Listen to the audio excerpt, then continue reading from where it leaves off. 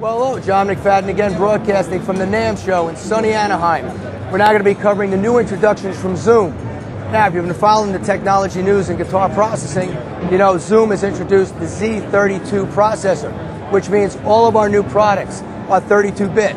All of our new products have frequency response of 20 to 40,000, which is unheard of. They're super quiet, they're super clean, and the modeling is perfect. Now, expanding on the functionality on that base, we've introduced the G7.1 UT. G7.1T expands the processing capability. We've now expanded the number of models that we've had.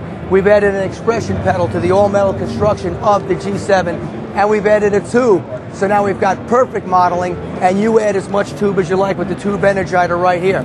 You can also do something classic amp switching. We're able to very simply let you switch just preamps. You got the back end of the amp just perfect. Your reverb's on, your delay's on, everything's perfect. All you want to do is go from clean to distortion. One button does that. Also, with the G7.1 UT, you got a complete recording studio with it. There's a USB output right to your computer. We provide Cubase LE software. Your computer now becomes a multi-track workstation. So, you've got all the technology of the Z32 processor, you've got all the power and tone of the tube, and you've got all the power of Steinberg Cubase to get your multi-track recording immediately out of the box. Now, that's for our electric guitar players. As we move now down, we've now haven't left out the acoustic player.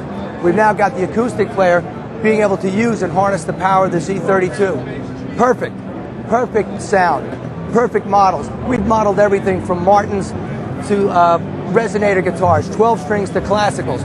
But then we put a, a, a, expression pedal on board, and again, we provide you, the acoustic player, with a USB out to your computer, Steinberg LE software, and now the acoustic player has the power of multi-track recording out of the box. We even made it green to make it acoustic. Right? As we move along again, we've just introduced the big brother to the G7.1 UT, and of course the G9.2 UT. So what could be better than a G7.1? Well, with one tube, well, the G9.12 with two tubes. That's right, we've got the power of two tubes that cascade into each other to give more burn and overdrive and more tone. We've also added more pedals so you have more sounds at your feet immediately, fastest patch change in the business, and we've added three pedals.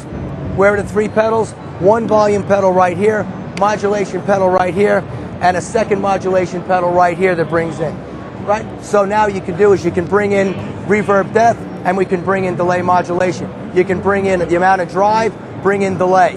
And we've already preset some really hip combinations for you to let you work. If you don't want to do that, bring it up here at locks, and now you've got a standard modulation pedal to work with. There's just not more you can load into a pedal than on the G9.12. And of course, USB out, free Steinberg LE software, so your multi-track recording station's only plugging it away. Okay, take it away, we're off to Hartke.